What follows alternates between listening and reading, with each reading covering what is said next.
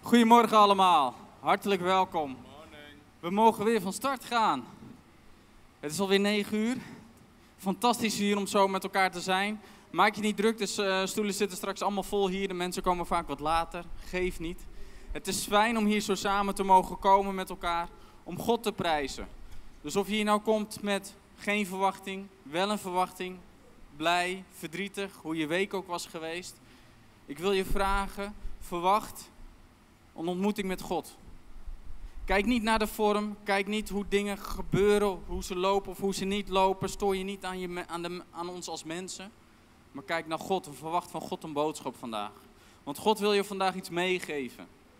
En niet alleen voor, voor vandaag en voor deze week, maar voor de rest van je leven. Want we mogen erop vertrouwen dat God ons wil opbouwen.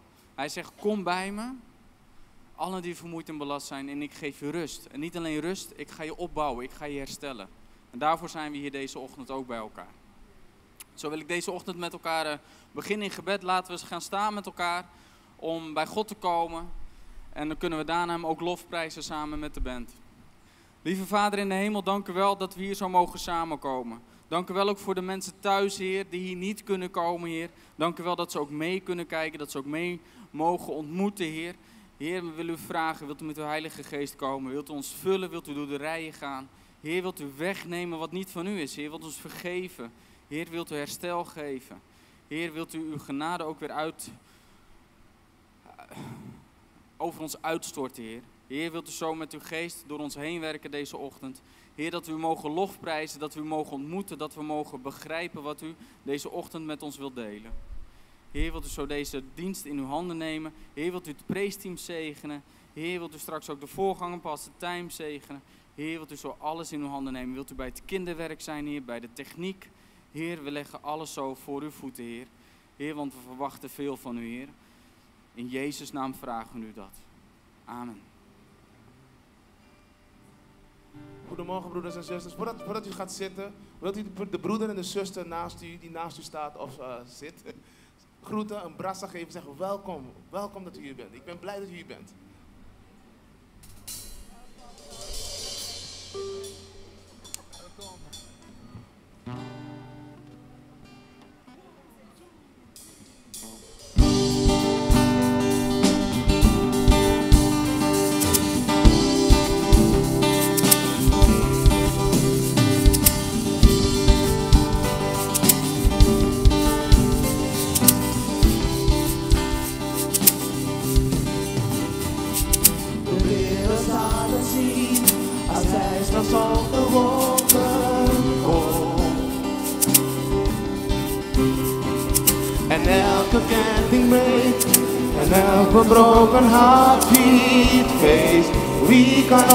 God ooit stoppen? Want God is de leeuw, de koning van Juda. Hij brult, hij is machtig, hij wint onze welslag. En elke knie zal voor hem buigen. En Jezus het lam, het offer dat kwam voor de zonde op aarde. Zijn bloed maakt ons vrij. En elke knie zal buigen voor de leeuw en voor het land. Elke knie zal voor buigen.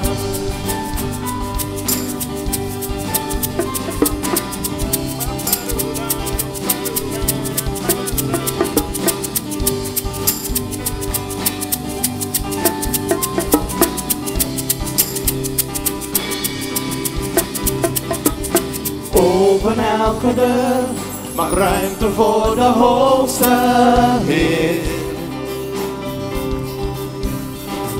Hij is het die ons redt en wie om vast zit vrij. Wie kan onze God ooit stoppen? Want God is de leeuw, de koning van Juda. Hij brult, hij is machtig, hij wint onze welslag en elke knie zal buigen. En Jezus het lam, het offer dat kwam, voor de zonde op aarde, zijn bloed maakt ons vrij.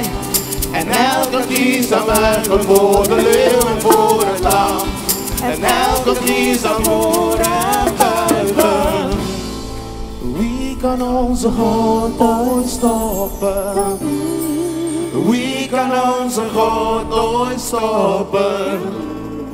Wie kan onze God ooit stoppen? Wie kan onze God ooit stoppen?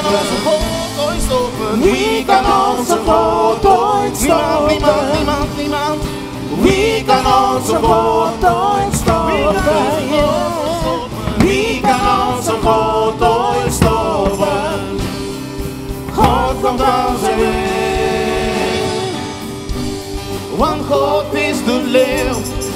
koning van Juda. Hij brult, hij is machtig, hij wint onze veldslag. En elke knie zal voor hem buigen. En Jezus, en Jezus het lam, het offer dat kwam. Voor de zonde op aarde, zijn bloed maakt ons vrij. En elke knie zal buigen voor de leeuw en voor het lam. En elke knie zal voor hem buigen.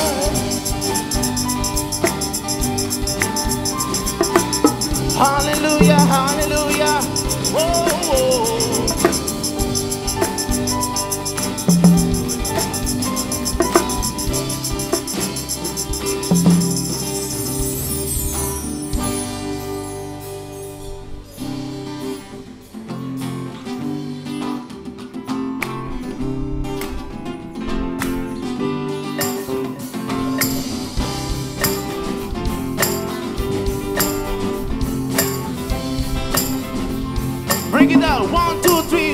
Say. Lord, I lift your name on high. Hey. Lord, I love to sing your praises. Say. I'm so glad you're in my life. I'm so glad you came to save. One more time, sing. Lord, I lift. Lord, I lift your name on high. Lord, I love to sing your praises. So glad you're in my life. I'm so glad you came. You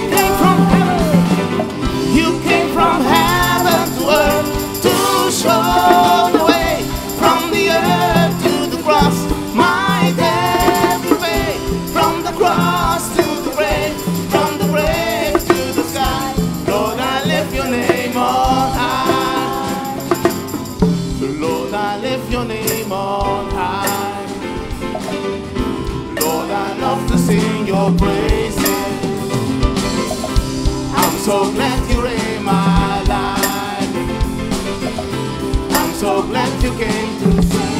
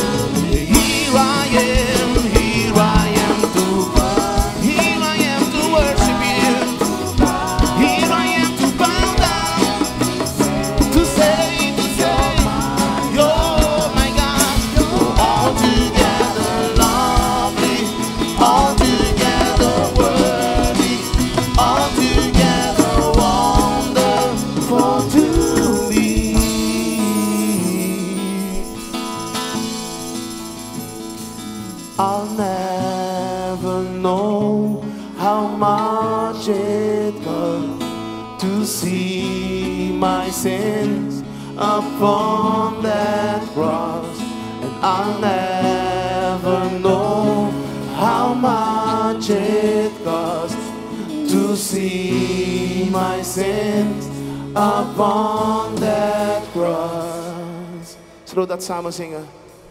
Here I am to worship. Here I am to bow down. Here I am to say that you're my God. You're altogether lovely, altogether worthy, altogether wonderful to me. Here I am to worship. Here I am to bow down. Here I am to say that you're my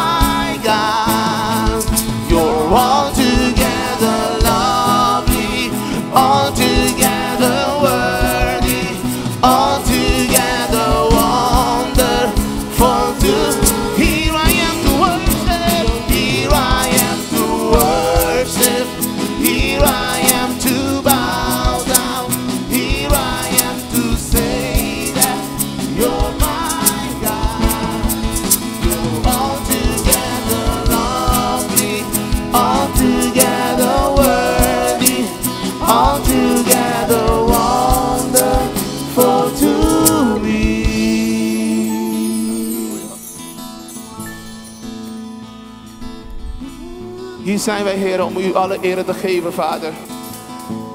Heer, we zijn gewone mensen die gekozen hebben vandaag zondag te komen naar de dienst. Om uw naam te eren, Vader. Heer, daarom heffen we onze handen op, Vader. Daarom heffen we onze harten op. En we zeggen, Heer, wij houden van u. En we hebben u nodig in alle aspecten van ons leven, Vader, Heer. Heer, wij staan hier en we bidden voor, ook voor anderen, Vader, Heer. Heer, we willen kerk vormen met, met, met z'n allen. Een levende kerk, Vader, Heer. Hier ben ik, who worship you. Hier wij staan, wij staan hier om u te bidden, Heer. Halleluja, halleluja. Oh, oh. Hier ben ik, o Heer, om u te eren, eren, eren.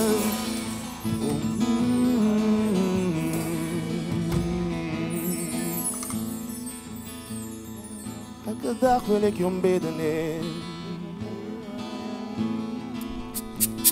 Niet alleen in de kerk, maar ook thuis, o Heer. Ik geef u alle eer. Ik loof uw naam, o Heer. Ik zing een nieuw lied voor u, o Heer. Om u te eren, eren, eren.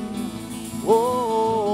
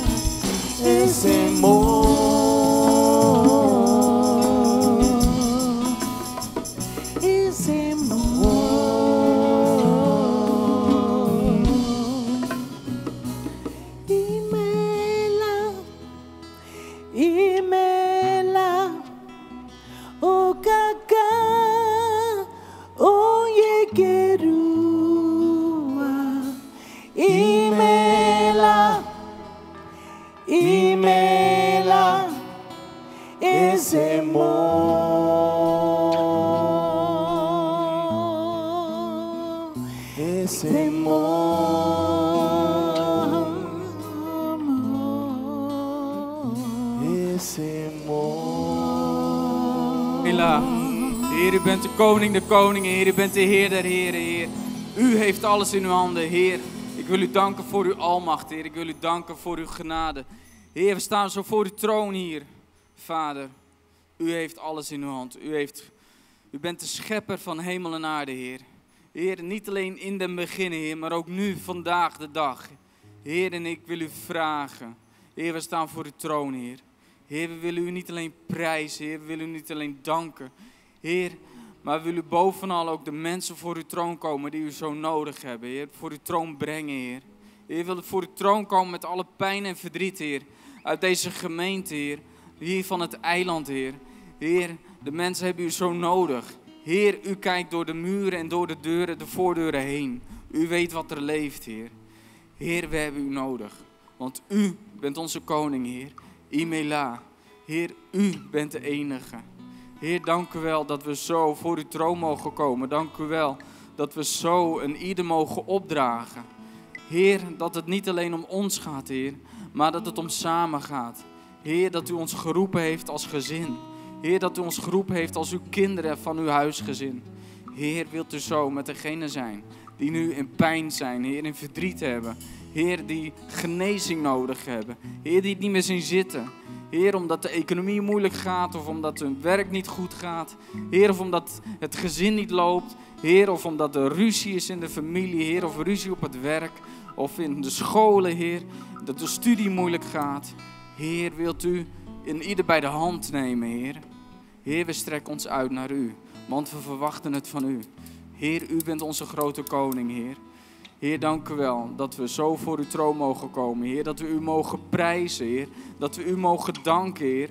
Want we weten, Heer, wat we bij uw troon brengen, Heer. Dat u ermee aan de slag gaat. En dank u wel dat u belooft dat u zo oneindig veel meer zal doen dan dat wij überhaupt kunnen vragen of bedenken.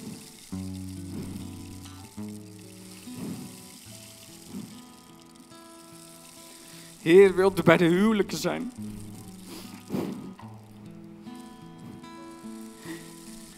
Heer, u weet wat er speelt. U weet wat er gebeurt. Heer, u ziet de pijn, u ziet de gebrokenheid. Wilt u herstel geven, Heer? Heer, wilt u uw genade op de huwelijken leggen, Heer? Wilt u het onmogelijke doen?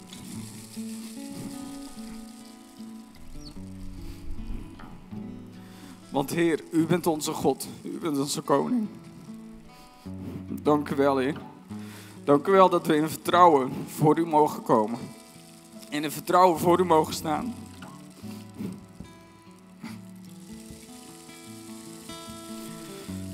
Heer, ik wil het wel uitschreeuwen. Er is zoveel pijn, zoveel verdriet. En Heer, u weet het. Heer, wilt u herstel geven? Heer, dat is ons diepste verlangen. Dat deze huwelijken hersteld mogen worden. Heer, dat ze mogen opkijken. En niet gebukt gaan onder de pijn en verdriet, maar mogen opkijken naar u, Heer. En zeggen, Heer, help me. En Heer, wilt u het laten zien, Heer? Wilt u ingrijpen? Wilt u de doorbraak geven waar ze zo naar verlangen, Heer? Wilt u ze troosten? Heer, wilt u ze dragen? Wilt u de mannen en vrouwen hier in de gemeente, Heer? Die hier doorheen gaan, Heer, wilt u ze zegenen? U kent ze bij naam, Heer. U weet wat er speelt. Heer, dank u wel dat we zo als gemeente om elkaar heen mogen staan. Heer, dank u wel, Heer, dat we zo voor uw troon mogen komen. Heer, en dat we mogen huilen met degenen die pijn hebben. En mogen vreugde vieren, Heer, met degenen die vreugde hebben. En Heer, ik wil ook danken, voor die groep, Heer. Want we hebben het vaak over de pijn en verdriet. Maar ik wil u ook danken, Heer, dat u zo ontzettend zegent, Heer. Heer, dat er deuren open gaan, Heer, die we niet voor mogelijk hadden gehouden, Heer. Heer, dat u elke keer weer zo wonderbaarlijk ons zegent. Dat u elke keer weer zo wonderbaarlijk voorziet, Heer. En het enige wat u zegt is, strek je hand uit, kom tot mij. En ik zal je helpen. En ik wil je overvloedig zegenen. Dank u wel, Vader. Dank u wel voor uw liefde. Dank u wel voor uw trouw. Dank u wel dat u uw zoon gegeven heeft. Dank u wel, Heer. In Jezus' naam. Amen. Amen. Ja. Het is mooi om zo voor de Godstroon te mogen komen. En het is soms moeilijk om je uit te spreken. Het is soms moeilijk om om te gaan met wat er om je heen gebeurt. Maar ik wil je aanmoedigen en bemoedigen. God voorziet altijd. Elke keer weer. Genezing op wonderbaarlijke manieren. Herstel op wonderbaarlijke manieren. Waar wij geen uitweg meer zien, Hij heeft hem. En daarom zijn we hier. We zijn hier niet om kerkje te spelen. We zijn hier niet om de rijen te vullen of om een mooie uh, worship te horen. Nee, om onszelf te geven aan God. Om te vertrouwen en om te gaan. Dus ik wil ieder weer welkom heten. Is er hier iemand voor het eerst in de gemeente? Welkom, welkom. Geweldig. Applaus. Welkom. Voel je vrij, voel je thuis. Kom ook na de dienst, gaan we lekker koffie drinken met elkaar, ontmoet elkaar. We zijn samen een gezin. Welkom allemaal. Was er iemand jarig van de week of vandaag? Zie ik handen? Ja, ik zie een handje daar. Check. Van harte gefeliciteerd. Pas Geweldig dat we weer een nieuw levensjaar in mogen. Noem, noem het wijsheid. Hè? We worden elke keer een jaartje ouder. Worden we wijzer van. Het is mooi dat we zo bij God mogen komen. Heer, wilt u zo, en ieder Heer, ook degenen die thuis zijn, Heer, wilt u ze zegenen, Heer, in het nieuwe levensjaar. Dank u wel dat u ze het nieuwe levensjaar weer gegeven heeft. En wilt u ze dit jaar nabij zijn, Heer. Wilt u voor ze uitgaan? Wilt u de deuren openen die open moeten? En wilt u de deuren sluiten die gesloten moeten worden? Wilt u ze laten zien, Heer, dat u voor ze klaar staat? Heer, wilt u hen zegenen? Wilt u hen dragen? Heer, en wilt u hun voorspoed geven, Heer, in alles wat ze ondernemen samen met u. In Jezus' naam. Amen. Goed, mededelingen. Even checken hoor. We hebben er nogal wat. Het valt op zich mee. Um, onze lieve zuster Truus voor de diaconie en uh, voor het voorbedenteam zit lekker in Nederland, is lekker vakantie aan het vieren. Duurt even, dus we hebben wat uh, vervanging aangesteld. Um, voor de diaconie hebben we Agatha, zit daar achterin, mooie uh, witte haren. Meld je aan als je ergens mee zit. Als je hulp nodig hebt, financieel, meld je aan. En voor het voorbedenteam voor gebed, als je ergens mee zit waar je voorbeden voor nodig hebt, voor omdat je ziek bent, omdat er dingen gebeuren in je leven die je niet had voorzien en graag opgelost wil zien, meld je bij Peter. Ik, ben even op ik had hem al wel gehoord, maar ik ben hem kwijt. Hij, oh, hij is, hij stiekem vandoor. Oh. hij is er wel. Beetje een grote man, wat oudere man, meld je bij hem. Eh, want we willen graag voor de gemeente bidden. We willen om je heen staan, naast je staan. En zo mogen we ook in gebed Jacelyn eh vol God stroom brengen. De dochter van eh, Maurice en Charella. Ik weet niet of Charella er is, maar het, eh, ze is geopereerd aan de kelenmandelen. En het gaat helaas niet voorspoedig het herstel. Dus eh, ze is een van onze tieners en de wond wil mo- moeilijk genezen. Ehm, dus het is een spannende tijd. Dus ik wil u vragen ook om samen nu voor haar te gaan bidden. Lieve Vader, Heer, we willen Jacelyn voor uw troon brengen. Heer, wat een eenvoudige ingreep zou moeten zijn, Heer. Heer, doet pijn en Heer, het schiet niet op. Heer, en soms zijn we ongeduldig, maar we maken ons ook zorgen, Heer, voor complicaties. Heer, wilt u haar hand, wilt u uw hand op haar leggen? Heer, wilt u uw genezende hand op haar leggen? En wilt u haar keel helemaal herstellen? Wilt u de wond doen genezen, Heer? Heer, dat ze er ook geen last meer van zal hebben. Heer, dat ze voor volledig weer hersteld zal zijn. Wilt u zo naar haar nabij zijn en wilt u ook voor Maurice en Charelle zorgen. Heer, als ouders, Heer, is het ook spannend, Heer. Wilt u hen rust geven, wilt u hen dragen. In Jezus' naam. Amen. Dan de komende week. Nee, eerst iets anders. We zijn druk bezig als gemeente. En dan ben ik even op zoek. Ik zie ze zo snel niet als mijn schuld. Ik zie er eentje, denk ik.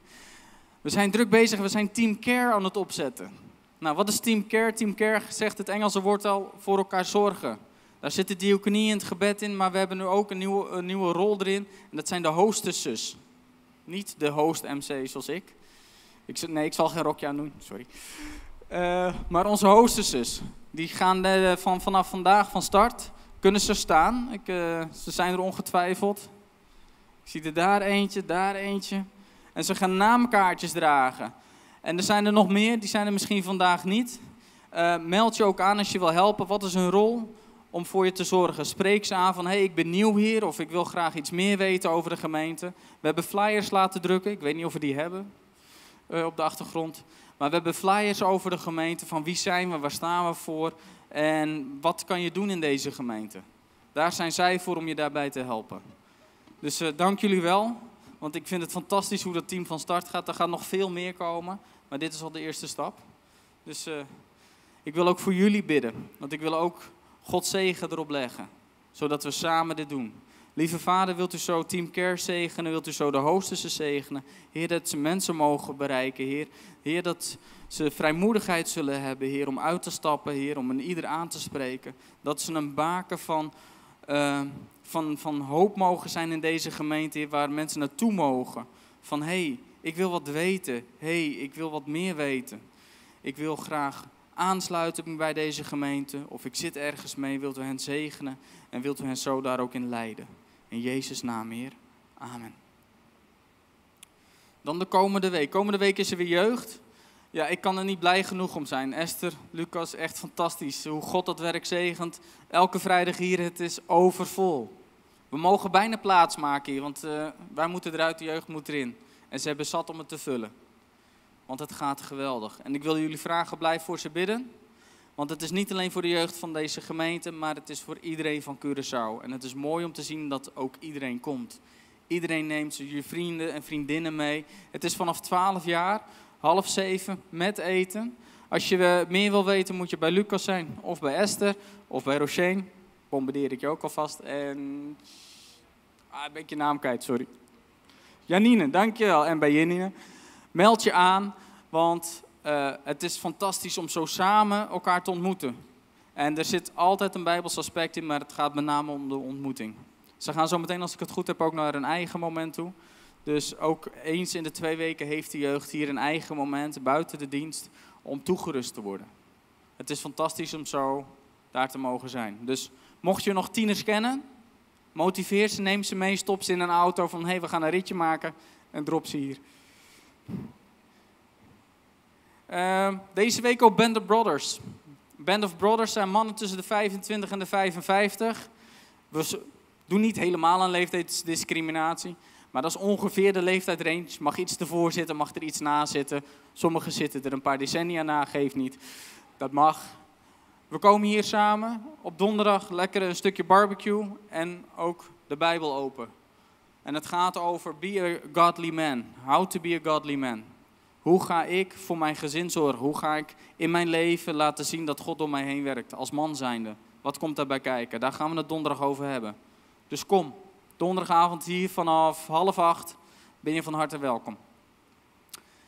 En dan mogen we de collecte gaan doen. Dat waren de mededelingen. We hebben vandaag de collecte. Dat is één collecte voor de gemeente. En mocht je nou geen cash bij je hebben, denk je, cash, wat is dat? Doe ik niet meer aan. We hebben een swipe machine achter. Het tap, swipe, doe wat je moet doen. En mocht je thuis zitten, we hebben een slide als het goed is, waar alle bankrekeningnummers op staan, kan je ook doneren. Want we hebben jullie gaves ook nodig. We hebben de middelen nodig om het jeugdwerk, het, het kinderwerk, het tienerwerk, alles wat we in deze gemeente doen om dat te bouwen. De techniek die hiervoor nodig is, eh, de spullen, het, de zaal. En daar is waar we dit voor gebruiken. Om uiteindelijk ook uit te kunnen stappen naar Curaçao. Lieve Vader, ik wil u danken. Heer, ik wil u danken voor uw liefde, Heer. En ik weet ook dat u dit offer, Heer, weer zult gebruiken. Heer, wilt u een vrijmoedig hart geven, Heer, een vreugdevol hart als we geven. Heer, wilt u op ons hart leggen, Heer, wat we willen geven. Heer, want het is voor uw koninkrijk. Het is niet voor ons, het is niet alleen voor deze gemeente, maar het is voor uw koninkrijk. Om de mensen te bereiken hier op Curaçao. Heer, en ik wil u danken hoe u ons zegent elke keer weer in alle stappen die we zetten. En wilt u zo ook deze collecte weer gebruiken tot het opbouw van uw koninkrijk. In Jezus' naam. Amen.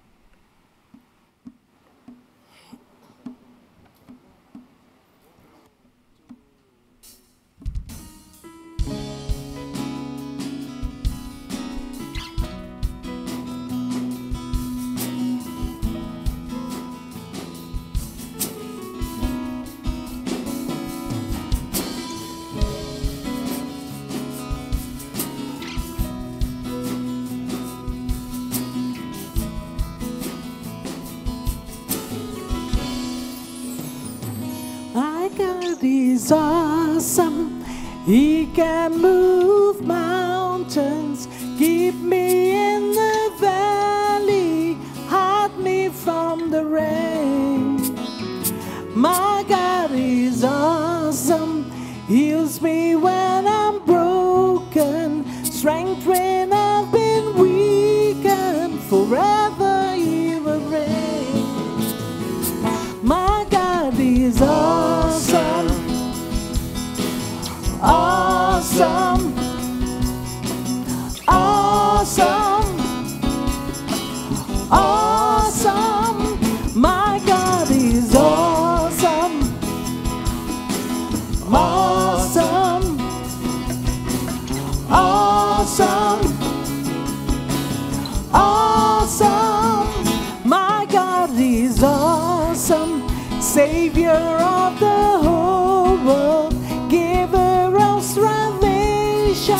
By his stripes I am healed.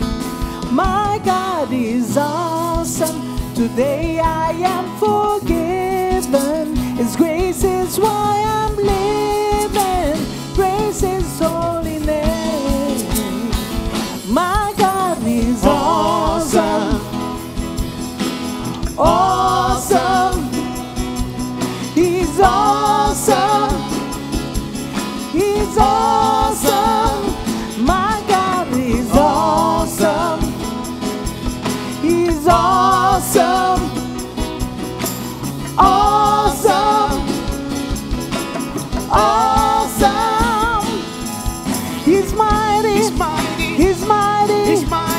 He's mighty. He's mighty. He's mighty. He's mighty. Awesome. Awesome. He's holy. He's holy. He's holy. He's holy. He's holy. He's holy. He's holy. He's holy. He's awesome. He, I want to hear you say he's great. He's great. He's great. He's great. He's great. He's great. He's great. He's great. He's great awesome. He, I want to tell you, He's mighty. He's, mighty. He's mighty. He's mighty. He's mighty. He's mighty. He's mighty. He's mighty. He's mighty. He's mighty. Oh.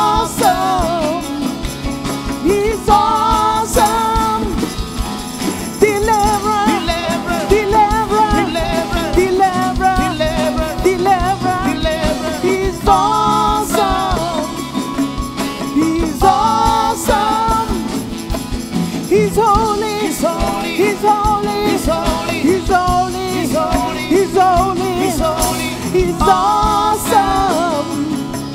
He's awesome. He's the provider.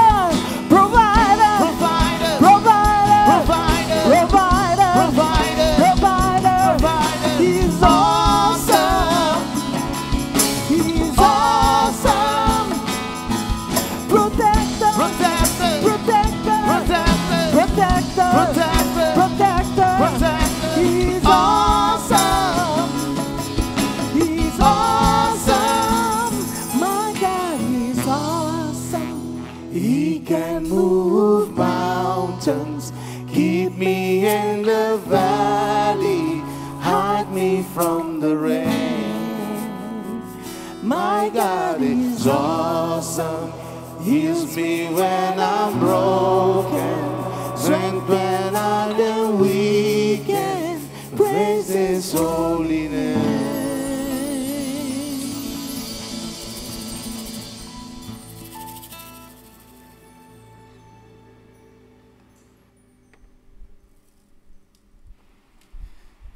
Ja, voordat ik pastor naar voren vraag, ik ben iets vergeten. Schandalig.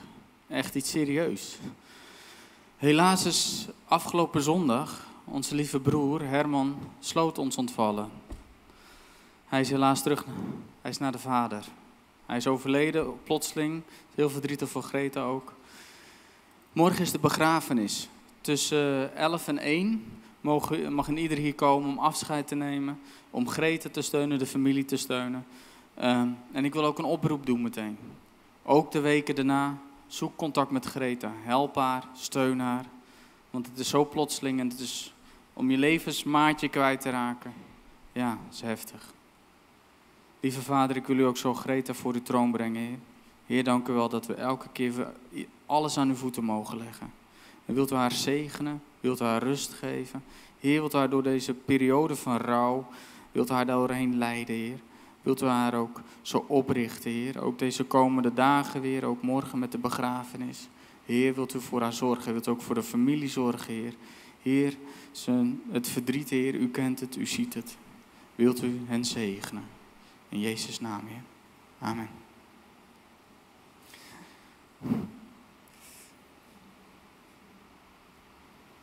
Dankjewel, eh, Johannes Jan. Mensen, wat fijn dat we er allemaal weer zijn. Geweldig, hartelijk welkom. Voel u zich thuis en verlustig u in de Heer. En Hij zal u geven de wensen van uw hart. Amen. Wat is het heerlijk, mensen, dat wij een geweldige Heer hebben. Een God die alles in, onder controle heeft. Voor ik het woord ga brengen, wil ik vragen broeder Hesti wat met ons wilde sharen. Hij vroeg iets met ons te kunnen delen. En we willen hem graag de gelegenheid daartoe geven. Halleluja.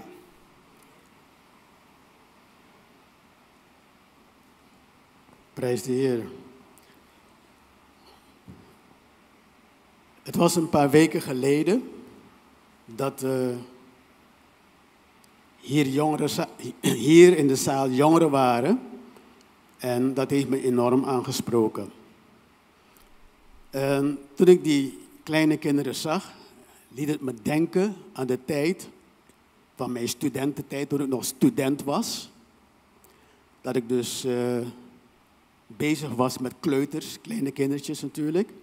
En dat is heel erg fijn om met deze kinderen om te gaan. Maar ja, kinderen blijven niet klein. Ze groeien en ze worden groter. Dan gaan ze naar de basisschool. En dan op een gegeven moment krijg je te maken met verschillende karakters. Ja? Je ziet kinderen die heel erg wat wij positief noemen. Ze willen graag iets leren, ze willen vooruit gaan. Maar er zijn ook kinderen die, een beetje moeilijk, die het een beetje moeilijk hebben. En dat kan, daar kunnen verschillende oorzaken aan zijn. Bijvoorbeeld, het kind heeft bijvoorbeeld een andere eh, begaafdheid. en voelt zich niet thuis op school of door omstandigheden thuis, ja, die kunnen ook heel grote invloed uitoefenen op kinderen. Ja, en waar Jonathan het ook over had. En daar wil ik het toch wel over hebben, omdat ik het heel erg belangrijk vind. Ik neem aan dat je dat ook vindt. Ik heb ook te maken gehad met kinderen die, je zag ze gewoon, als je bezig was met het geven van les, dan zag je gewoon dat deze kinderen enorm veel, ze hadden heel veel moeite. Ja? En de oorzaak was ook, later kom, kom je dat te weten, dat er thuis tussen vader en moeder het niet klikt. Ja? Er zijn huwelijksproblemen. En deze kinderen praten misschien niet. Je hebt verschillende soorten kinderen. Je hebt kinderen die praten, ja? en je hebt kinderen die houden het voor zichzelf. En op een gegeven moment kunnen deze kinderen exploderen. Ze vertonen op school een zodanig negatief gedrag. Wat je ook doet, het lukt maar niet. Of ze moeten dus uh, worden onder begeleiding geplaatst van verschillende begeleiders enzovoort.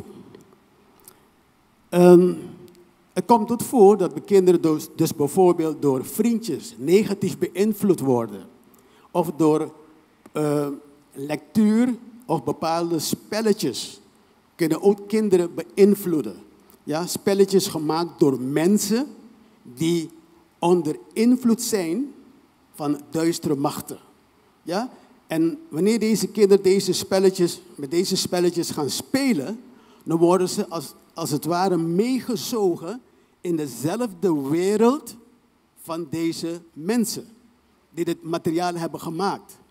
En de duivel is niet, is niet een geest die komt met een hooivork en die zegt tegen jou van, hé, hey, hier ben ik. Ja? De Bijbel zegt, hij is als een engel des licht, hij komt heel lief bij je en poko a poko trekt hij je mee in zijn koninkrijk. Um, ik heb ook gevallen gehad, toen was ik nog niet bekeerd, dat een kind zich zodanig gedroeg, hij was niet te corrigeren. En de vraag, ze vroegen mij, je bent klasseleraar, ga even thuis op bezoek. En toen ik daar kwam, ik was nog niet bekeerd, kwam ik tot de ontdekking dat ik gewoon in een, in een, in een huis was, in een, waar alleen maar waar men bezig was met satanisme.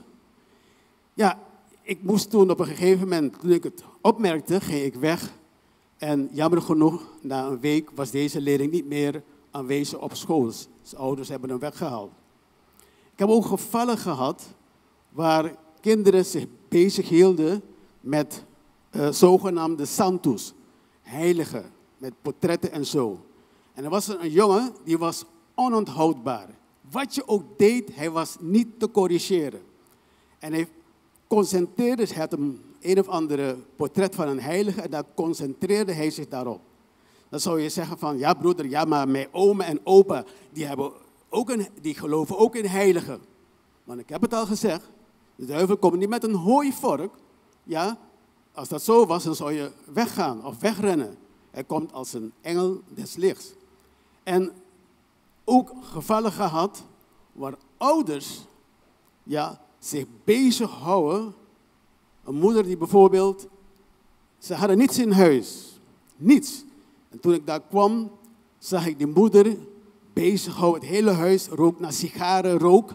Ja? En ze was bezig met haar twee kinderen met spiritisme. Dit soort leerlingen hebben, je, krijgt, je hebt enorm veel uh, problemen met dit soort leerlingen. Want wie gaat ze begeleiden? En ik wil ook een gevalletje met jullie delen. Want het is niet de bedoeling dat ik hier urenlang zit te... Ik moet het zo kort mogelijk doen. Waar ik dus een... was een leerling, een heel lief kind. Heel lief kind. Op een gegeven moment uh, gingen ze naar de gymnastiek. En in de gymnastiek is het zo dat de leraar zegt van je moet dus je armband of je ring of wat het ook uittrekken. Waarom? Want als je op die touwen gaat trekken, dan kan iets vast komen te zitten en dan heb je een probleem. Maar wat gebeurde er? Op een gegeven moment was het kind op het veld en het kind viel op de grond. En het kind begon te stuiptrekken. Te stuiptrekken. Niemand wist wat het was. Was in die tijd was ik coördinator. Het kind werd naar de kantoor gestuurd. En hele vreemde bewegingen, net een slang, op en neer. Niemand wist. Toen hebben ze de ambulance opgebeld. En die kon niks doen. En die hebben het kind dus een spuitje gegeven, zodat het dus weggevoerd kon worden. Ik heb later een gesprek gehad met een van de ouders. En terwijl ik bezig was, kreeg ik een ingeving van, vraag even dit. En toen zei die mevrouw tegen mij, ja, inderdaad. Dit kind is, heeft een speciaal bad ondergaan, dat noemen ze een chromanti, chromanti eh, in het, in het. Waardoor dus op een gegeven moment gaat de persoon, dus de persoon die priester die dat doet, gaat het kind bepaalde woorden spreken. Ze komen onder invloed van duivelse en satanische machten. Wat er gelukkig kon ik met mijn vrouw, jammer genoeg, tekort, hebben we dit kind kunnen begeleiden. En maar op een gegeven moment werd het kind uit ons omgeving, ging ze naar het buitenland en heb ik verder geen contact meer met het kind gehad. Ik heb later weer contact gehad en een van de ouders zei het gaat nog steeds niet zo goed. Waarom vertel ik dit, dit soort dingen? Ehm, de jeugd heeft een enorme belangrijke eh, taak. Ja, als we hier zijn met de jeugd, dan is het goed dat wij hun zodanig, dat we ze opleiden als christensoldaten. Dat deze leerlingen, deze, wanneer ze op school zijn en dit soort dingen tegenkomen, dat ze kunnen gaan nou, evangeliseren in de zin van, luister, wat je hier doet is niet goed. Kom, we nodigen je uit, kom even hier. Alleen Jezus kan je bevrijden. Ja?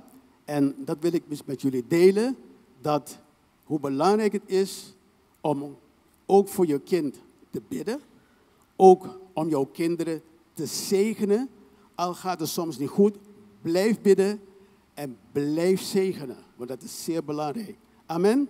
Dat was het.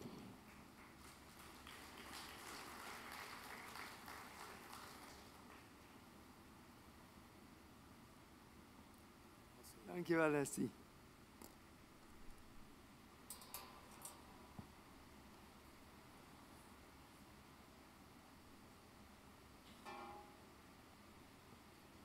Ik wil iedereen heel hartelijk danken nog voor ons cadeau van eh, een paar dagen in het hotel. We heerlijk genoten. Lekker kunnen zwemmen, lekker kunnen wandelen en de Heer groot kunnen maken. Hartelijk bedankt. Ik ben vandaag weer jarig. Gelooft u niet, maar het is wel zo. Ik ben namelijk op 11 september bekeerd. 11 september 1965. En dat is. eh, hoeveel, lang, hoeveel jaar is dat? Ik weet niet hoe oud ik ben. Maar aardig oud. 4 september en 11 september. Precies een week na mijn verjaardag kon ik mijn knieën buigen voor koning Jezus. Geweldig. Mensen, wat fijn. Fijn dat u er bent en fijn dat we met elkaar weer vanmorgen het woord kunnen openen en bestuderen en samen weer sterker worden. Want dat is de bedoeling. En we komen hier om bij te tanken, hè, onze verbinding met de Heer te verstevigen, kracht van de Heer te ontvangen, zodat wij op een hele andere manier tegen de dingen aankijken. Amen.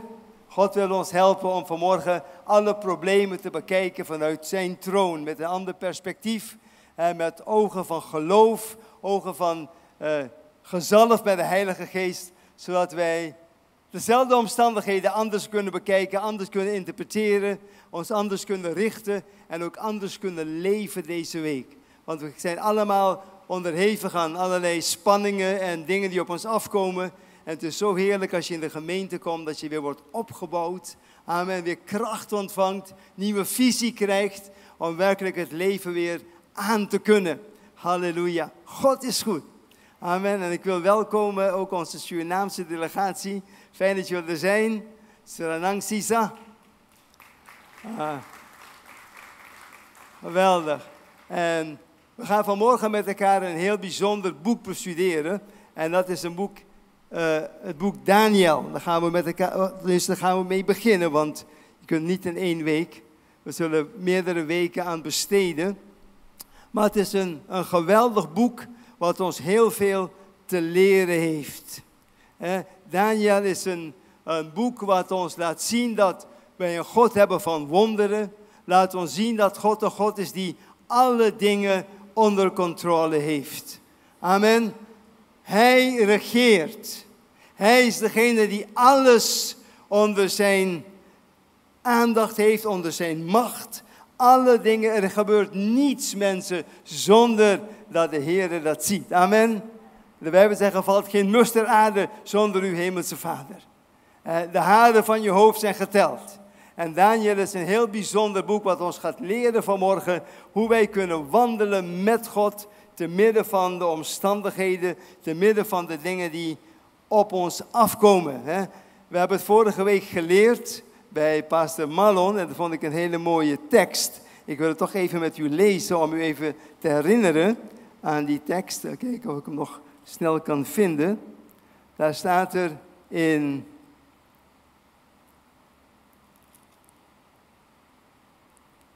Even kijken. Waar had je die tekst, Pastor Marlon?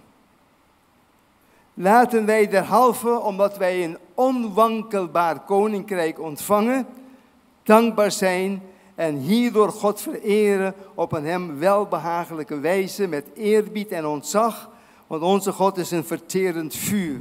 Amen. Wij ontvangen een onwankelbaar koninkrijk. Halleluja. Alles wat geschud kan worden, zal geschud worden in deze tijd. Maar wij hebben een onwankelbaar koninkrijk. Wij zijn gevestigd en gebouwd op de rots Jezus Christus. En zoals iemand zegt, I can shake on the rock, but the rock under me will never shake. Amen. Ik kan schudden op de rots, maar die rots die onder mij staat, die zal mij altijd vastigheid en stevigheid bieden. En wat er ook gebeurt in dit leven, mensen, als God voor ons is, wie kan er tegen ons zijn? Ik heb u net gezegd, ik ben op 11 september ben ik bekeerd, maar op 9 september gebeurt er iets anders. James Stockdale was een Amerikaanse piloot die werd neergeschoten boven Vietnam. En hij kwam in de beruchte Hanoi Hilton. Eh, degene van jullie die van mijn leeftijd zijn, die weten nog die tijd. Die waren de tijd van de draft Dodgers. Wie weet wat een draft Dodger is? Ik zie jullie zijn niet bekend met dit soort dingen. Dat zijn mensen die de, eh, de dienstplicht ontvluchten. Vele Amerikanen die zagen de zinloosheid van de oorlog in Vietnam. En die waren niet bereid om te sterven voor een zaak die ze niet aanging. En ze waren draft dodgers. De draft betekent de, eh, hoe noemen ze dat? Ja, dienstplicht. En de dodgers, dat betekent ze ontweken de, ze ontweken de dienstplicht. En ze gingen naar Zweden en overal naartoe, en over de hele wereld. Maar James Stockdale, die werd neergeschoten. Hij werd zeven jaar lang gemarteld. Eh, hij moest wonen in een kamertje van 90 centimeter bij 270 van betonnen muren en zonder ramen. En de vraag is natuurlijk van, hoe kom je door zo'n ellende heen? Zo'n psychologische eh, en fysieke marteling en, en trauma's. Eh, hoe ga je ermee om? En deze man die zegt, ik heb nooit mijn geloof verloren in de goede afloop. Amen. I've never lost my faith in the end of the story. En wat er ook gebeurt, ik weet, ik ga er een dag uitkomen. Wat er ook gebeurt, maar als God met mij is, wie kan er tegen mij zijn? En deze man die had geleerd dat lange termijn denken. Weet je, als je succesvol wilt zijn in het leven, moet je een lange termijn denken ontwikkelen. Een ontwikkeling van, van jaren vooruit kunnen zien. En, en als je inderdaad een lange termijn visie hebt, als je weet uiteindelijk winnen wij, uiteindelijk komt alles wel goed, dan krijg je ook de kracht om het alledaagse onder ogen te zien en te overwinnen. Maar laat nooit jouw lange termijn visie van je ontnemen. Wij weten het vanuit de Bijbel dat alle dingen medewerken ten goede. En dat we uiteindelijk zullen overwinnen. Wij zullen de Heer zien. En we leven met een, een eeuwigheidsvisie. Abraham was een man die woonde in tenten, zegt de Bijbel. Want hij geloofde in, eh, in een stad die komen zou. Wiens, wiens maker en, en, oprichter God zelf was. Hij, hij leefde met een, een afstandsvisie. En de Bijbel zegt ons heel duidelijk. Bij de Heer is mijn herder. Mij ontbreekt niets. Hij doet mij nederliggen in grazige weiden. Hij voert mij in rustige wateren. Hij leidt mij in de rechte sporen om zijn naams wil. Zelfs al ga ik door een dal van diepe duisternis, ik vrees geen kwaad. Want gij zijt bij mij, uw stok en uw staf vertroosten mij. Gij richt voor mij een dis aan voor de ogen van u mij benauwen. Gij zalft mijn hoofd met olie. Amen, mijn beker vloeit over. En dan zegt hij, ja, heil en goede tierenheid zullen mij volgen alle dagen. En ik zal in het huis des Heeren verblijven tot in lengte van dagen. Wauw. Mensen, niets kan ons scheiden van de liefde van Christus. Amen. Niets kan ons scheiden. Nog heden, nog toekomst. Nog machten, nog krachten. Nog dood, nog leven. Niets zal ons kunnen scheiden van de liefde van God. Mensen, wat een toekomstvisie hebben wij. En wat er ook gebeurt, mensen, hef je ogen op hoog, want jouw verlossing genaakt. Halleluja. Amen. Ik hef mijn ogen op naar de bergen. Van waar zal mijn hulp komen? Mijn hulp is van de Heere die hemel en aarde gemaakt heeft. Uw bewaarder sluimert nog slaapt. Uw bewaarder eh, zal u niet begeven. Amen. De zon zal u des daags niet steken, nog de maan des nachts. Want de Heer zal u bewaren voor alle kwaad. Hij zal uw ingang en uw uitgang bewaren. Mensen, wat hebben we een geweldige heiland. Wat een evangelie hebben wij. Wat een God. En Daniel leert ons opnieuw dat God alle dingen onder controle heeft. Kijk met mij even in openbaring 11 vers 15. 11 vers 15, daar staat er. En de zevende engel blies de wassuin en luide stemmen klonken in de hemel, zeggende: Het koningschap over de wereld is gekomen aan onze Heere en aan zijn gezalfde. En hij zal als koning heersen tot in alle eeuwigheden. Amen. Halleluja. De Heer regeert. We zingen het zo vaak. De Heer regeert. Amen. Oh mensen, our Lord reigns. And uh, we can rejoice and we have eternal perspective. Amen. Whatever happens, we know in the end we will win. We know in the end everything will be well. All things will work together for good for those that love our Lord Jesus Christ. Hallelujah. Amen. Onze God, mensen, is in charge. And that is what the book of Daniel wants to teach us. That God has everything under control. Don't panic because God is in charge. Amen. We kunnen het niet vaak genoeg herhalen, mensen. Zien hoe geweldig onze God is. Hij is zo groot. En hij heeft alle dingen. He got the whole world in his hand. And he got you and my life in his hand. We hoeven niet bang te zijn. We hoeven nooit bang te zijn. Want God heeft ons niet gegeven een geest van vrees. Van afhartigheid om te vrezen. Amen. Maar hij heeft gegeven ons de geest van het zoonschap. Door welke wij roepen, Abba Vader. Weet je, geweldig hè. Als je een vader hebt. Als je bang bent, wie roep je? Niet je moeder, maar je vader hè. Mijn vader is, weet je, veel sterker. En je vader komt tevoorschijn en, en, en je voelt je geweldig goed. Hè? We hebben een vader in de hemel. En hij ons niet gegeven een geest van lafhartigheid om opnieuw te vrezen. He has not given us a spirit of cowardice uh, to be afraid again. Uh, but we have the spirit of sonship.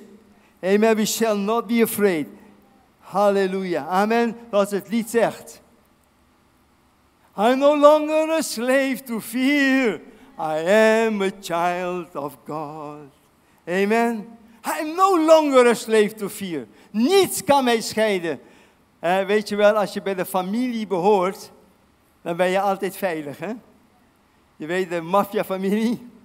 Als je vroeger bij de maffiafamilie behoorde, dan kon je rondlopen en je weet, de family beschermt jou. Eh, niemand kon je kwaad doen. En wij zijn deel van de family of God.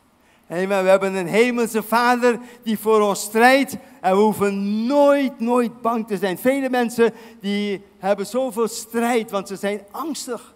Ja, maar de Bijbel zegt, God heeft ons niet gegeven een geest van vrees, maar een geest van kracht, van liefde en van bezonnenheid. Amen. We hebben die geest van kracht om te overwinnen, om elke intimidatie van de vijand af te wijzen en te verbreken. Ik heb het u wel eens geleerd. Hè? Als ik bang ben, zeg ik tegen mezelf, of dan zeg ik zoals de Bijbel mij leert, ik weiger om te leven onder deze geest van intimidation, deze geest van vrees. En ik verbreek deze geest in de naam van Jezus. Want geest is een vrees is een geest hè, die je probeert te bedwingen. Maar God heeft ons vrijgemaakt. Wie de zoon vrij maakt, is waarlijk vrij. Halleluja. Daniel mensen, een geweldig boek wat ons leert dat God alle dingen onder controle heeft. Halleluja. En weet je, Daniel is een boek met vele wonderen. En deze wonderen zijn een teken van God. En het boek Daniel doet God zoveel geweldige dingen. Hij, we zien dat hij uh, Daniel dromen openbaart. En die koning die zegt in hoofdstuk 2 van, ik heb een droom gehad. En laat de wijzen die maar, maar interpreteren. Maar geen van die wijzen kan het. None of the sages, none of the wise men could interpret the dream. Want ze zei de koning, you have to reveal the dream to us, then we can give you an answer. Maar de koning zegt, nee, ik ga jullie droom niet openbaren. Als jullie inderdaad zo goed zijn, if you are that good in, in, in fact, then you will know the dream. En, en de enige die dat kan antwoorden is, is, is Daniel. Want Daniel die zegt tegen zijn broeders, bid voor mij, bid. Gaan laten we een bidstond organiseren. Want God is een God van wonderen. En, en, Daniel gaat in gebed en hij gaat dromen zien. En hij ziet precies de droom van de koning. We zien hoe uit de, vurige, de, de vierde man in die vurige oven. Daniel de drie jongelingen bevrijdt. We zien hoe Daniel in de, in de leeuwenkuil wordt geholpen. We zien dat teken op de wand. Mene, mene, tekel, ufasin. Geweldig, hè? Ze waren allemaal aan het feesten, allemaal dronken. En plotseling verschijnt er een, een hand en die begint te schrijven. Wauw, mensen, ik denk dat onze knieën zouden knikken. Dat gebeurde letterlijk bij, bij, bij die koning. De zoon van Nebuchadnezzar. Hij, hij, begon te trillen, hij begon te beven. Mensen, want, want Gods majesteit kwam neer. En waarom deed God al deze wonderen in het boek Daniel? Weet je, vroeger als een land verslagen werd door een ander land, alle landen hadden hun goden. En als je dus werd verslagen door een ander land, dit betekende eigenlijk dat de God van dat land sterker was dan jouw God. En, en voor de mensen die zeiden van, hé, hey, de God van Babylon is sterker dan de God van Israël. Want kijk, ze hebben Israël verslagen. En God zei, nee, ik had mijn volk toegezegd, als zij zondigden, zouden ze in ballingschap gaan. Dus deze ballingschap is geen teken van zwakte, maar is een teken dat ik bezig ben mijn volk te disciplineren. Ze moeten leren dat ze geen afgoden achterna zullen gaan. Maar zegt God, ik ga doen, te midden van het hof, ga ik daar mannen brengen die mij vertrouwen en ik ga wonderen en tekenen doen, opdat iedereen weet en koning Nebukadnezar komt tot de erkenning. Er is geen God die kan redden zoals de God van Israël. En hij valt op zijn knieën en hij begint Daniel te aanbidden. Want hij denkt van, what is happening hier? Een God die dromen kan openbaren. En later een God die, die, die uh, een, krankzinnige koning weer kan herstellen. Een God die, die, die, die uit de vurige oven kan redden. Een God die de, de leeuwenmuilen kan toesluiten. En God wordt verheerlijkt in het boek Daniel. We zien wonderen en tekenen als een, als een geweldig teken. En niet alleen dat. God laat zien dat hij werkelijk God is. Zodat het volk van Israël, wat daar in Babylon is, kan zien dat God nog steeds voor ze zorgt. Dat God nog steeds een God van wonderen is. Dat God nog steeds hun beschermt. Dat God nog steeds hun verdedigt. Dat God er nog steeds heel nabij is bij al zijn kinderen die hem oprecht zoeken. En weet je, het mooie is dat Israël leerde les. Want als Israël uit ballingschap komt na 70 jaar. En de ballingschap duurde 70 jaar, waarom? Jeremia had geprofiteerd, 70 jaar lang. Ze geloofden Jeremia niet. Maar het gebeurde. En na 70 jaar komen ze terug in het beloofde land. En Israël is genezen van zijn afgoden. Israël wordt plotseling een heel fanatieke, monotheïstische natie. Ze beginnen God te dienen, heel streng monotheïstisch. Ze hebben geleerd dat de afgodendienst ballingschap tot gevolg heeft, ellende en straf. Maar dat God een God is van genade, van nieuwe kansen. Een God die daar altijd is om ze weer uit te redden. Halleluja. Om ze weer bij de hand te nemen. Daniel kun je dus eenvoudigweg samenvatten. God heeft alles onder controle. En laten wij nooit het geloof verliezen in de goede afloop. Het lijkt op het moment misschien zo moeilijk. Zo moeilijk. Je denkt, hoe kom ik er ooit uit? Maar Daniel leert ons. wij ontvangen een onwankelbaar koninkrijk. Wat altijd zal zegevieren. Amen. En wat altijd daar is. Laten wij nooit ons geloof voelen. Eh, eh, En ook als je allerlei dingen op je afkomen. Het nieuws van deze wereld. eh, Filter het nieuws. Laat het je niet wanhopig maken. Maar filter het nieuws van de wereld met het goede nieuws van God. Karel Hoekendijk zei eens, de krant is de Bijbel van de duivel. Want het verheerlijkt de grote daden van de duivel. Maar wij hebben de Bijbel van onze God, die de grote daden van onze koning proclameert. Amen. En lees het nieuws door de ogen van het evangelie. En weten wel dat wij grotere kracht hebben dan wat dan ook in deze wereld. We hebben de liefde die alles overwint. De Bijbel zegt, de liefde vergaat nimmer meer.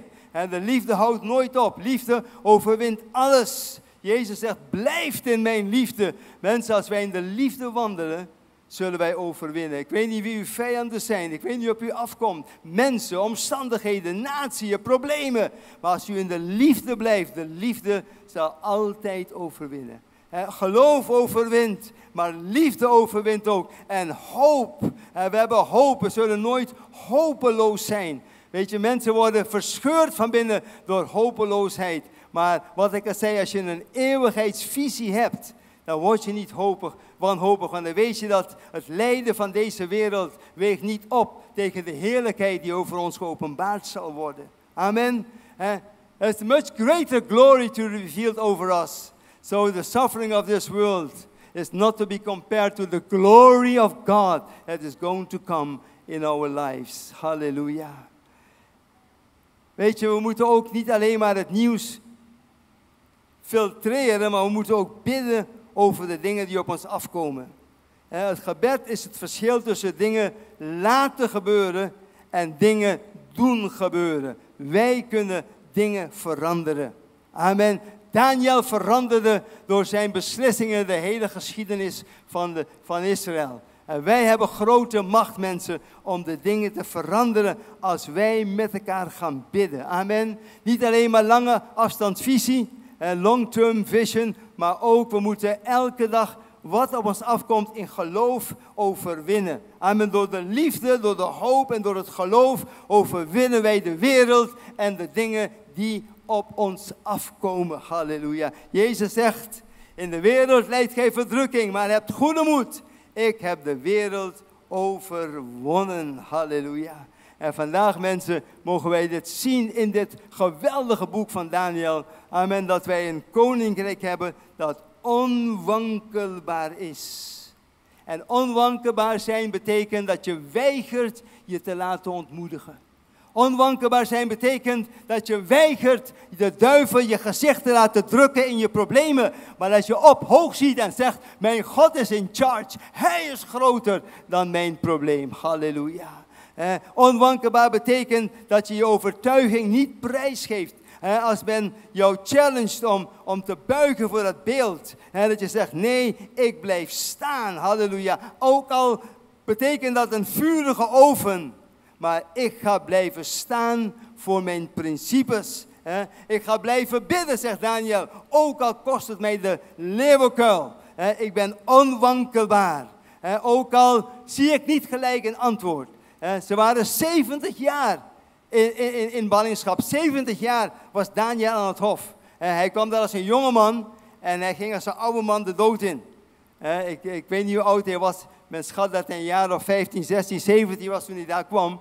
En na die 70 jaar was hij dus 7, 88 jaar. Eh, dat is nog ja, niet, eh, niet piepjong, maar zeker nog niet stokoud. Amen. Halleluja. Eh, God is een God, mensen, van, van wonderen. En Daniel is een man die ons leert om te blijven volharden. Halleluja. Amen.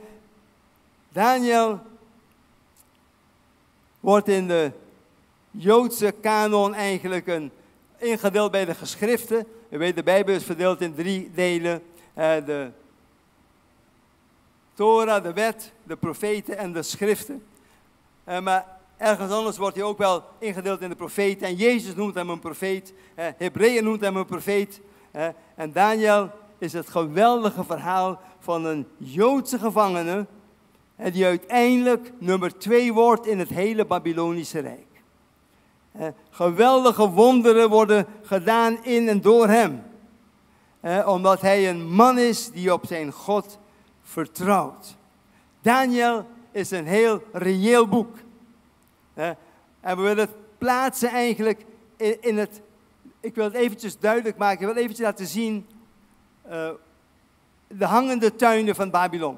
Eh, laten zien dat het heel dichtbij is. Het is heel reëel. En Daniel is niet een theoretisch boek, maar hoewel die Babylonische tuinen zijn ook niet helemaal historisch misschien.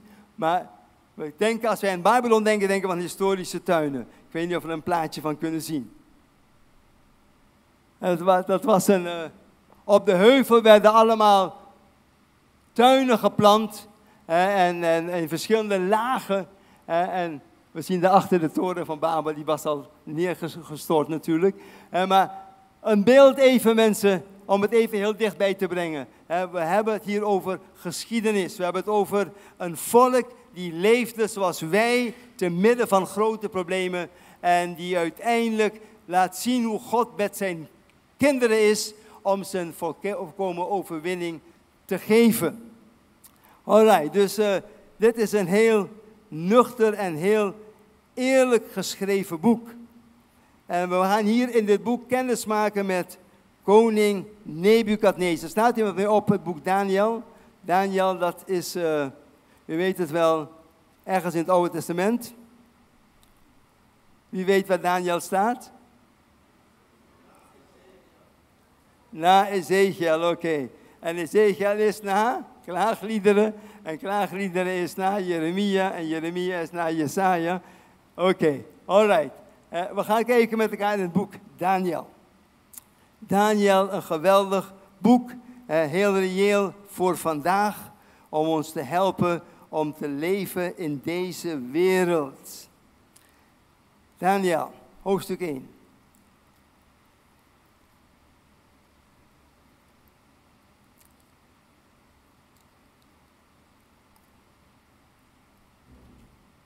In het derde jaar der regering van Joachim, de koning van Juda, kwam Nebukadnezar, de koning van Babel, naar Jeruzalem en belegerde het. Dus in het derde jaar van de regering van Joachim kwam Nebukadnezar, de koning van Babel, naar Jeruzalem en belegerde het. En de Heere gaf Joachim, de koning van Juda, in zijn macht, benevens een deel van het gerei van het huis Gods. En hij bracht ze naar het land Sinear in de tempel van zijn God. Het gerei bracht hij in de schatkamer van zijn God. Hier zien we dus dat Nebukadnezar, die is eh, waarschijnlijk op weg geweest naar Egypte, om daar de Egyptenaren een lesje te leren. En op de terugweg neemt hij ook Israël even mee. Dit is het eerste bezoek van, Nebukad, van Nebukadnezar aan Jeruzalem. Daarna komt hij terug, na een jaar of twintig, om de stad helemaal eh, tot puinhoop te maken. Maar hier is zijn eerste bezoek en hij gaat een paar jonge mensen meenemen naar dat land. Nebukadnezar is een, een man die een hele grote ego heeft. We zien dat in het feit dat hij een beeld maakt voor zichzelf. We zien dat in zijn hele manier van, is dit niet het grote Babylon wat ik heb gemaakt? Hoogmoed, hè, een geweldige ego. En God gaat daarmee aan de slag en gaat deze man allerlei lessen leren. We willen eventjes kijken naar de kaart van eh, Israël in die tijd. Om eventjes te kijken hoe dit volk is krijgsgevangenen genomen en hoe ze dus gaan op reis gaan van eh, hier Jeruzalem. En ze gaan dus eigenlijk die weg. U weet wel dat eh, hier hebben we Ur. Wie, wie is in Ur geboren? Abraham. En Abraham ging vanuit Ur langs de rivieren zo omhoog door Irak, Babylon, overal. Daar ging hij naar Haran, Haran en hij kwam zo in Israël terecht. En nu neemt de koning van Babylon neemt ze mee vanuit Jeruzalem, dezelfde route. u ziet het wel, het ging allemaal langs de rivieren. Mensen woonden vroeger langs de rivieren en mensen reisden langs de rivieren. Wat was de reden? Je had water nodig. En ze hadden geen uh, waterleiding, uh, hoewel later de Romeinen geweldige waterwegen maakten. Ik heb in Tunesië gezien de, de aquaducten van de Romeinen. Die begonnen in de bergen. En uh, met zo weinig verval dat ze de stad konden bereiken en het water toch bleef stromen. Wat een ingenieuze uitvinding. Henk Naha, die gaat me eventjes uitleggen hoe dat helemaal ging. En maar uh, jij bent ingenieur, dus jij kan me uitleggen. En maar dat was, die Romeinen waren ontzettend knap. Hè? Als je die aquaducten van ze bekijkt, fantastisch. Daniel, we, we, we, gaan dus deze reis, gaan ze, uh, Daniel wordt gevangen genomen met een paar andere jonge mensen. Uitgelezen jongens, gaan we zo meteen lezen. Het waren de, de cream of the crop. En Daniel was schijnbaar ook een afstammeling van koning Jehiskia. Hij was van adel. En die koning die komt en die, die neemt een paar van de uitgelezen jongens mee bij deze eerste deportatie. En deze jongens komen aan het hof om daar te worden opgeleid hè, om daar te werken aan het hof. En ze worden ook gecastreerd. Ze waren eunuchen, want als je in het hof moest werken, kon je niet aan de prinsessen komen. Was een beetje erg. Maar goed, hè, uh, dat heb ik geleerd. en dat was uh, deze jongens. Maar een geweldig lange reis. En kun je je voorstellen, een reis van ongeveer 1500 kilometer. En wat er in Daniel allemaal omgegaan moet zijn. Van wauw, ik, ik word weggehaald uit mijn, mijn volk. Ik word uh, gebracht naar een land wat ik niet ken. Wat moet ik daar gaan doen? Maar we gaan zo meteen het geheim zien van Daniels overwinning over al deze dingen. Dit is het eerste voorbeeld van een brain drain. Ze komen de beste jongelui pakken, die knap waren, intelligent. als ik in de spiegel kijk, denk ik dat ik Daniel zie. Ah, ik, uh, Vergeef me mijn hoogmoed. Uh, maar het waren geweldige jongelui. Uh, de eerste brain drain. En later hebben we dat geleerd hè, om, om, om de knappe koppen te exporteren. We hebben een heleboel knappe Antillianen in Nederland. En gelukkig hebben we ook wat knappe Nederlandse koppen hier. Alright. U kent dat, dat grapje wel, hè, van iemand vroeg van, wie zijn de beste geleerden, de Russen of de Amerikanen? Dus hij het antwoord, de Duitsers in Amerika zijn beter dan de Duitsers in Rusland. De Duitsers waren knappe koppen, Einstein, Werner von Braun, trouwens was ook een, wat ik begreep, een gelovige man. Allemaal brain drain, de eerste brain drain. Mensen worden weggevoerd uit Israël naar het land, een vreemd land, waar ze daar moeten gaan vestigen. Het, het, het, mooie hiervan is eigenlijk dat, weet je, vaak komen we op plekken waar we niet zouden willen zijn en waar we eigenlijk, ja, het is niet het plan wat, we met ons leven hadden. Maar het mooie is bij deze jongelui, ze komen op een plek waar ze niet uitgekozen hebben, een plek waar ze helemaal niet wilden komen. Maar ze zijn jongens die juist omdat ze op die plek waren, geweldige hoogten bereikt hebben. Daniel zou waarschijnlijk nooit die hoogte bereikt hebben van een van de wijste mannen van de wereld en, en gezalfd en vol van geloof als hij niet door die verdrukking was gegaan. Dus weet je, als je soms bent op het werk en je wordt geplaagd en de dingen zijn moeilijk, zeg Heer, ik geloof dat u groter bent, dat u hebt me hier geplaatst En waar u mij plaatst, daar kan ik bloeien. Daar kan ik de kracht van God openbaar laten worden. Hè, Daniel is een geweldige man. Hè, soms komen wij op bepaalde plekken. En als wij eenmaal op die plek zijn, dan, dan eh, zijn wij geen getuigen meer. Mensen die zijn geweldig fanatiek voor Jezus, maar dan komen ze op een hoge, ge- hoge positie. Ja, maar ik, ik moet me niet aanstellen en ik moet niet tot aanstoot zijn. En, maar weet je, ik ben zo blij dat wij een gouverneur hebben die toch getuigt waar ze is. Wauw! Weet je, je- laat je nooit kleineren. Daniel die komt op een plek waar hij niet had voor had gevraagd. Maar hij begint te floreren, hij begint te bloeien. Amen. En mensen, laat nooit een excuus zijn van ja, maar hier had ik helemaal niet willen zijn. En weet dat God jouw leven leidt. En dat waar je bent, je kunt bloeien. Halleluja. En je een geweldig eh, koninkrijk, eh, eh, burger mag zijn. En weet je wat het mooie is in dit eerste vers? Daar staat er. Nebukadnezar de koning kwam en de Heere gaf Joachim de koning van Juda in zijn macht. Dat betekent, Nebukadnezar veroverde Jeruzalem niet. God gaf hem dat land. Dat is mooi, weet je. Die mensen die tegen je zijn, zie ze niet als jouw vijanden.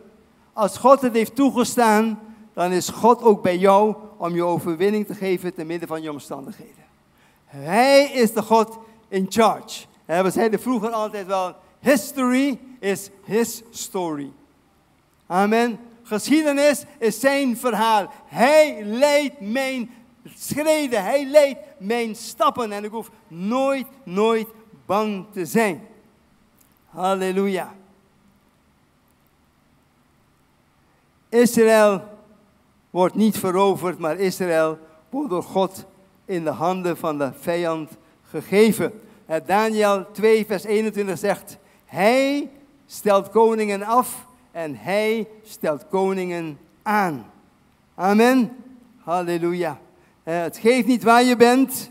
God is groter dan wat voor omstandigheden dan ook. Eh, Misschien moet je werken op een plek die niet je keuze is. Misschien moet je wonen tussen mensen waar je niet voor gekozen zou hebben. Maar Daniel leert ons dat je ondanks je moeilijke omstandigheden gezegend kunt zijn door de genade van onze God. Halleluja. Deze jongelui die komen in, in, in Babylon en het, het, het zielige eigenlijk is dat zij daar komen door de zonde van hun ouders en voorouders. Ze waren onschuldige jongens. Eh, En dat is een deel. Mensen, we leven in een wereld en vaak lijden wij door de fouten van anderen. Eh, Er komen stormen in ons leven door de fouten van anderen. Je man doet verkeerde dingen en jouw hele leven is ondersteboven. Eh, Je kinderen die gaan verkeerd en jouw hele leven is kapot. We komen in stormen vaak door de schuld van anderen. Maar één ding is zeker. Ik zal u niet begeven, ik zal u niet verlaten. Daarom kunnen we met vertrouwen zeggen, de Heer is mijn helper. Voor wie zou ik vervaard zijn? Amen. Halleluja. God mensen, die leidt ons. En dan staat er hier in vers 2, en de Heer gaf Joachim, de koning van Juda, zijn macht benevens een deel van het gerei van het huis Gods. En hij bracht ze naar het land Sinai in de tempel van zijn God. Het gerei bracht hij in de schatkamer van zijn God. Toen beval de koning Aspenas, het hoofd zijn hovelingen, enige Israëlieten te laten komen uit het koninklijk geslacht en uit de edelen, knapen zonder enig gebrek, schoon van uiterlijk, ervaren in allerlei wijsheid, in het bezit van kennis, met inzicht en wetenschap, geschikt om dienst te doen in het paleis des konings en hen te onderwijzen in de geschriften en de taal der Geldeën. En ze moesten leren de nieuwe cultuur.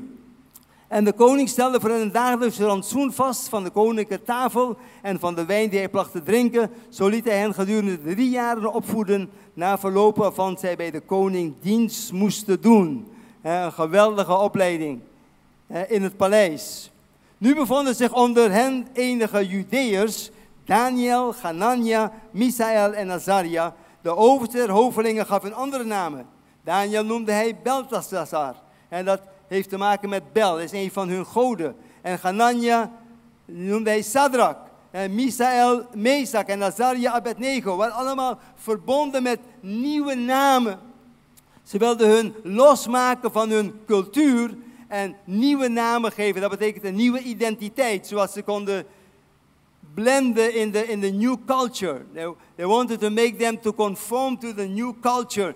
Uh, getting new names, new identity. En dat is eigenlijk wat de duivel altijd wil. Hij wil je langzamerhand een andere identiteit geven. Hij wil je langzamerhand weghalen van jouw christelijke identiteit. En dat hier krijgen ze les in alle cultuur van Babylon, in alle wijsheid. Ze worden helemaal, als het ware, losgemaakt van hun eigen cultuur. En dat is wat we zien in de wereld vandaag de dag. Hè? Hoe, hoeveel voorgangers beginnen al compromissen te sluiten. Hè? We zitten allemaal te zeggen, ja maar we leven in deze tijd.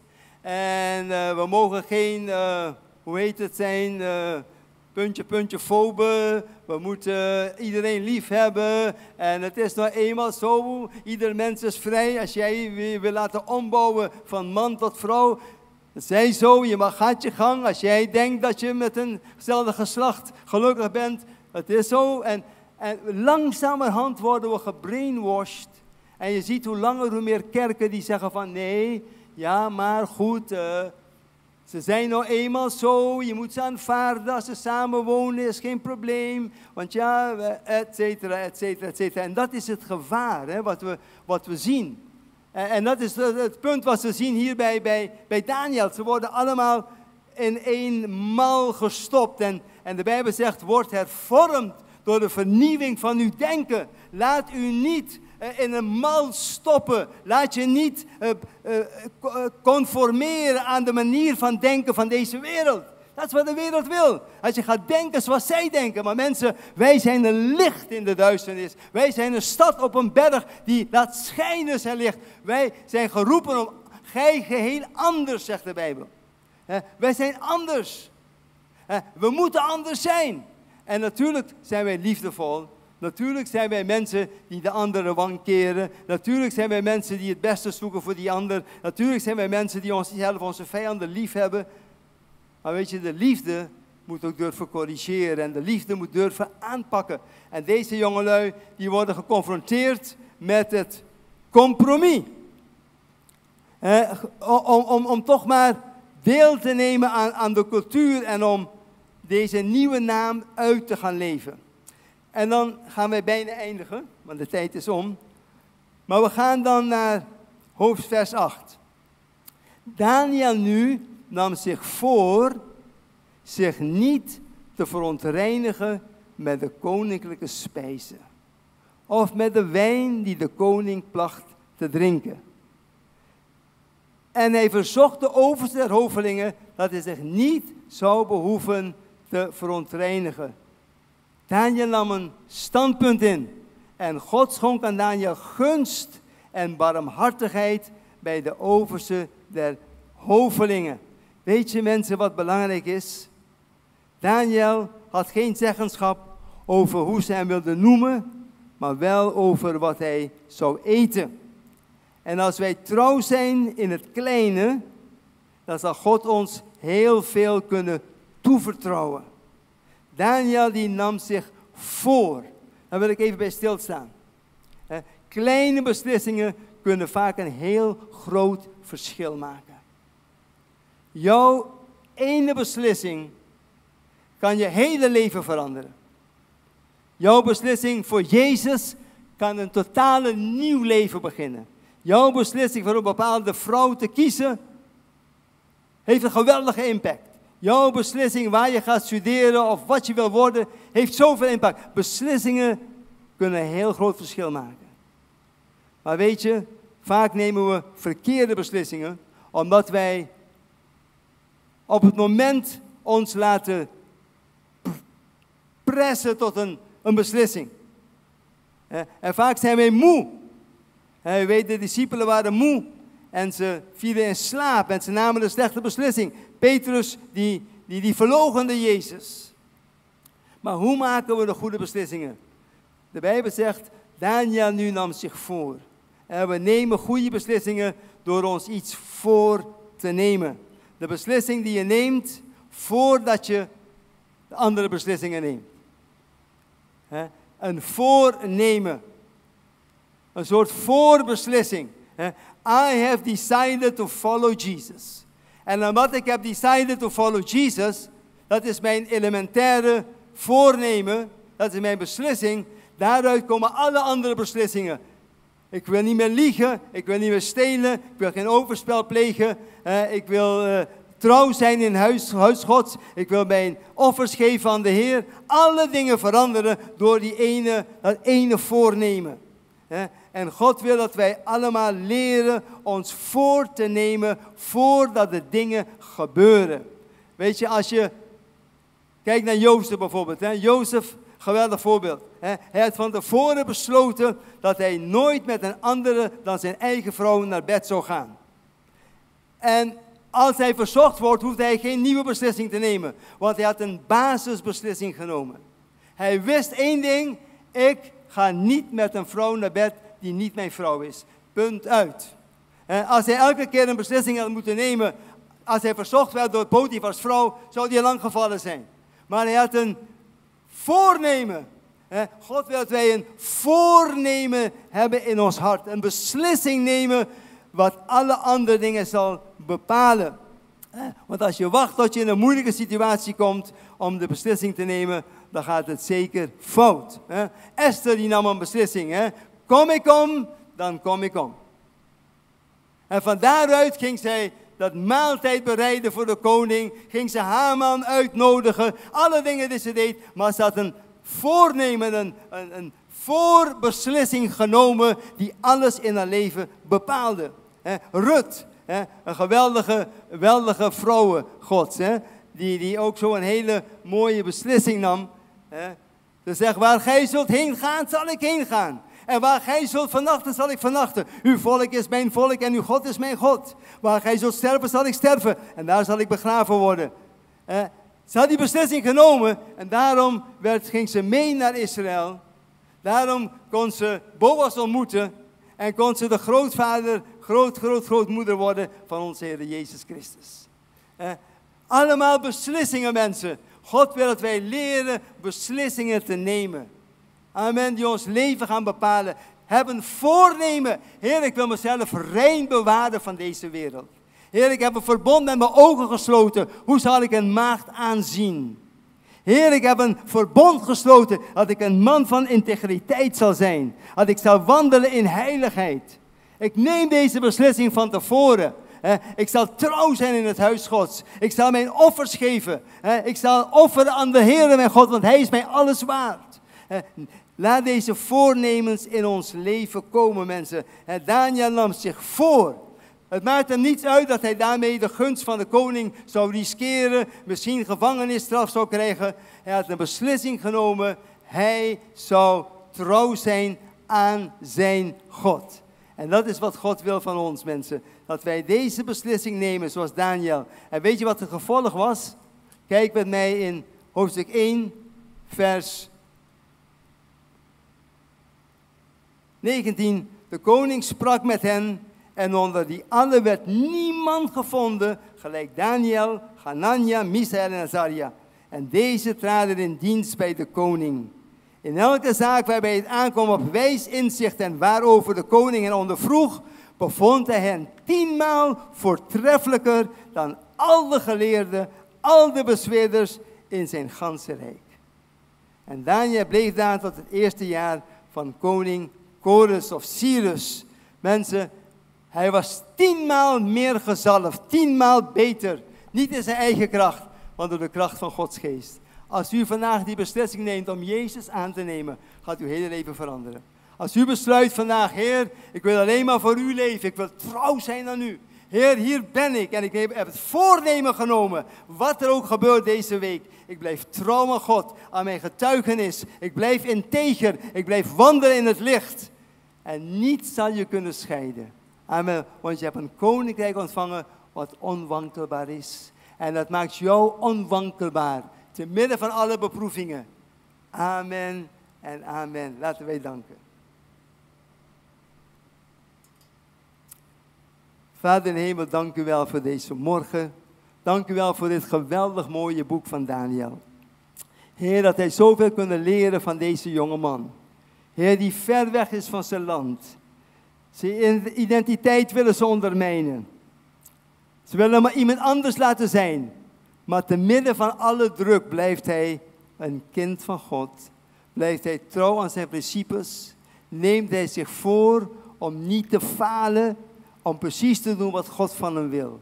Vader, dank u wel. Dank u dat u ons helpt. Dat wij Daniels mogen zijn. Waar u ons ook hebt geplaatst. Heer, dat wij weten dat de omstandigheden ons niet kunnen breken of kleineren. Maar dat wij door die zalving van uw geest kunnen uitstijgen tot veel grotere hoogten. En tot grote, machtige daden. Heer, we willen elk excuus van ons afschudden. Heer, elk excuus van ja maar. Als ik in Jeruzalem was gebleven, ja maar. Als dit en dat anders was gegaan, ja maar.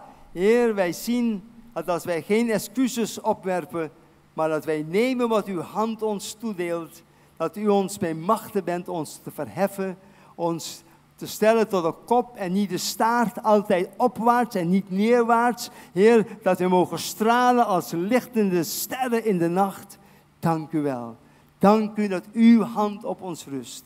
Dank u voor Daniel, wat ons leert, Heer, dat midden van de geschiedenis bent u degene die everything under control has. You have everything, Lord. Daniel teaches us, end good, all good. Einde goed, al goed. door het geloof weten wij dat God alles onder controle heeft. Door de liefde weten wij dat wij zullen overwinnen. En door de hoop weten wij dat wij een lange termijn denken hebben dat op een dag alles goed zal zijn. Heer, we prijzen u, we danken u dat uw woord ons sterkt. Heer, om als mannen en vrouwen van God te leven te midden van deze wereld. In Jezus' naam. Amen. Amen. Amen. We gaan de dienst besluiten. We hebben heerlijke koffie. En als u gebed nodig heeft, mag u naar voren komen. Als iemand hier is die zegt, ik wil graag de Heer Jezus aannemen als mijn verlosser. Neem die beslissing die uw hele leven kan veranderen. En de Heer zij met u. Laten we danken. Vader, dank u wel voor deze dag. Dank u wel, Heer, voor uw liefde. Dank u wel, Heer, voor onze broeder Herman, Heer, en Greta. Wilt u haar troost, haar kracht geven. Dank u, Heer, zoals Jonathan ook bad. Wij bidden u voor onze huwelijken, bidden voor onze gemeente. Heer, dank u wel dat wij allemaal mochten leren vanmorgen opnieuw om ons voor te nemen. Om liefdevol te zijn, heilig te zijn. Om te leven tot eer van uw naam. Dank u wel voor zegen. En gemeente, ik zegen jullie allen. En mogen de genade van de Heer Jezus en de liefde van God en de gemeenschap met de Heilige Geest met u allen zijn. Be blessed in Jesus' name. Amen.